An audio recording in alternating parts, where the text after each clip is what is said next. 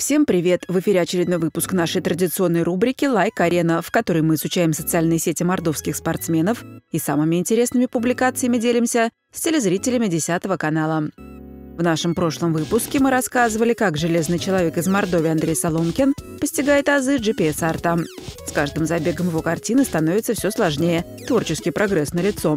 А для заинтересовавшихся новым видом уличного искусства Андрей показывает наглядно, как происходит процесс GPS-рисования. А вот заслуженный мастер спорта Денис Нижегородов бегает не из любви к искусству, а ради подготовки к первому в своей жизни марафону. Пока дела идут неплохо, несмотря на то, что пришлось пропустить целую неделю из-за небольшой травмы. Но сейчас Денис снова в строю и готов покорять спортивные вершины.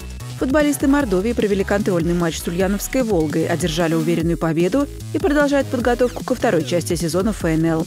А мы можем полюбоваться фотографиями игры, которая, к слову, проходила в футбольном манеже на странице официального аккаунта клуба в Инстаграме.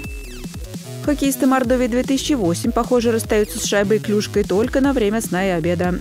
Нет льда – не проблема. В хоккей можно поиграть и в обычном спортзале. Убедитесь сами. Видео подтверждение найдете на страничке команды. Все в той же социальной сети Инстаграм. Цветы, объятия, поздравления. Так встречают на вокзале серебряного призера юношеского первенства мира по биатлону Любовь Калинину. Вот только происходит все это не в Саранске, а в Саратове. Ведь воспитанница мордовской шор по зимним видам спорта является уроженкой именно этого города. Ну ничего, скоро придет и наше время поздравлять Любу. Ожидание этого момента скрасит просмотр фотографий в ее соцсетях. И в завершение еще одна традиционная рубрика нашей программы «Ну что там у борцов?».